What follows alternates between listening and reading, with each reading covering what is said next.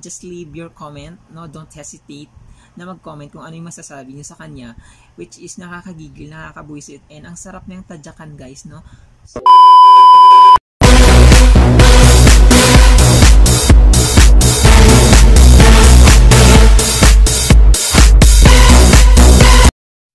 Yes, hello, what's up? It's me again, Becky, and welcome back to my YouTube channel.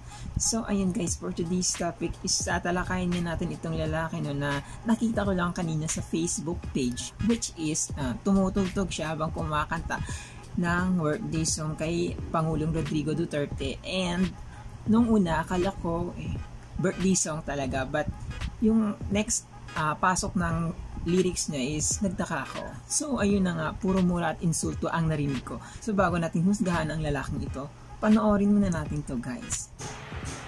Um, So, gumawa nga pala ako Mm. ng kakanta siya at kanta mura in the sa ating middle of the song. Presidente Duterte.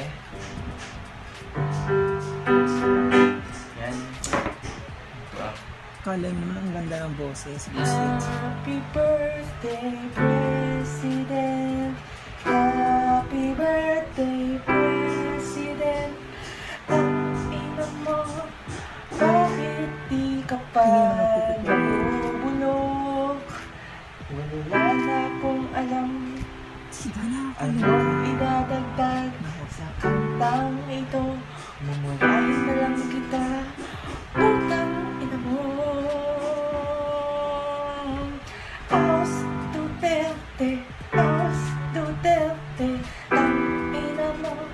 wala kang kwenta.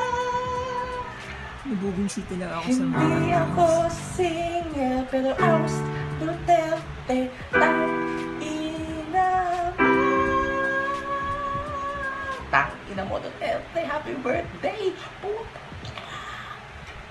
So, ayan di ba guys, nakakairita, nakakabulsit, nakaka-imbier ng pakinggan yung kanta niya. So, akala ko talaga nung una is birthday song yung kakantahin niya and yung pala is uh, sa second pasok ng lyrics na inu- iniinsulto niya si Pangulong Duterte and ayun na nga, no, sabay mura.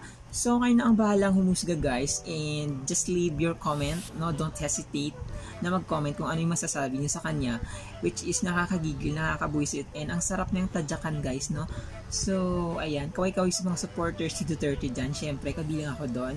So, ayan guys, hanggang dito na lang po tayo and Again, kung hindi pa nakapag-subscribe, no, just hit the subscribe button and the notification bell para ma-update kayo sa mga next videos na i-upload ko. So, thank you for watching. See you in my next vlog. Bye!